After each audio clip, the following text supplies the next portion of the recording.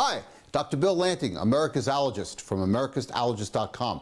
Today I'd like to go over a study that was in the Journal of Allergy and Clinical Immunology, or JACI for short. I think it was the August 2011 edition. It was a study called uh, Therapeutic Strategies to Reduce Asthma Exacerbations. What does that mean?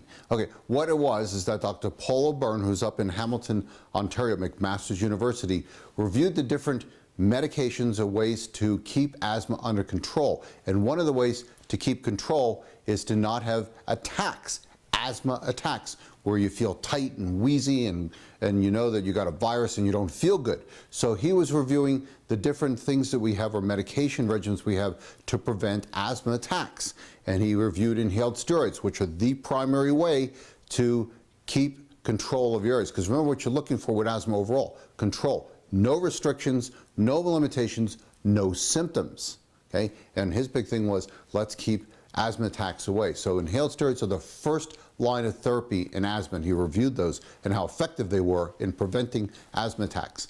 Then he looked into long-acting bronchodilators or albuterol, but the long-term kind. You have the short-term that you puff on and that lasts for a couple hours, and then the longer-term ones. So they help the first one work better. They should never be used alone.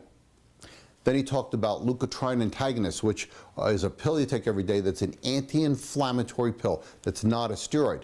And that helps keep asthma in control, especially uh, that which is induced by viruses. It helps keep you from getting viral-induced asthma attacks. And then he went over two monoclonal antibodies, which are, what the, what's that? Those are chemicals that are synthesized to help prevent inflammation.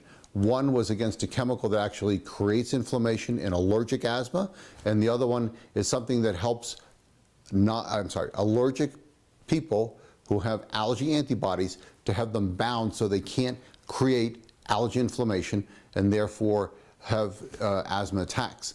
He talked a lot about eosinophilic uh, presentation. What is that? Those little white cells that cause allergic inflammation in the airway, and those last two monoclonal antibodies help a lot in that type of asthma. So putting this paper together, it just says there are these different medications, different schemes to help give you control and keep away asthma attacks or exacerbations.